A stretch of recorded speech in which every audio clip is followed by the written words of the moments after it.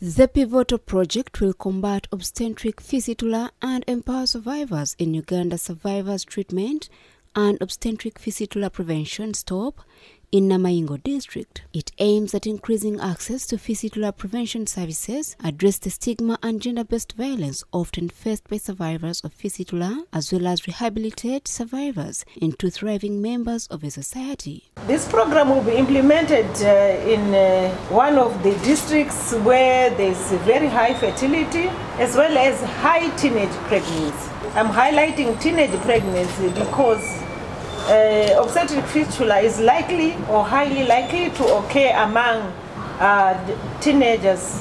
Why? Because their bodies are not really mature to handle complications of pregnancy. The UNFPA Country Director Gift Nalunga explains the objectives of the three years project. We're looking at um, women who leak either urine due to the birth injury or they leak feces due to birth injury or both.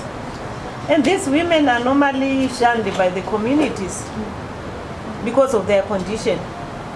And in some cases, there are myths and misconceptions around the condition.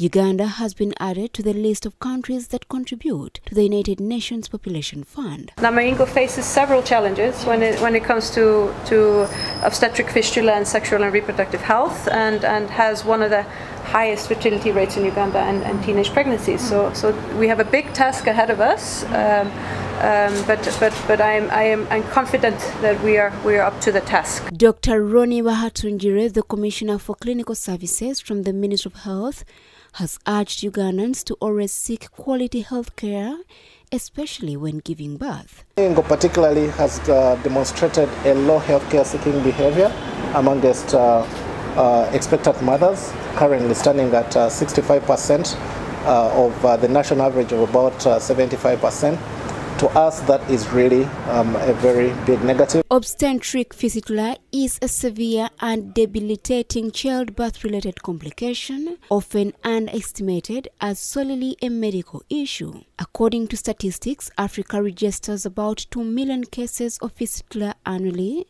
while 100,000 cases are registered in Asia. Uganda registers about 1,900 fistula cases annually, 70% of these occurring among adolescents. Story compiled by John Musenze for the news.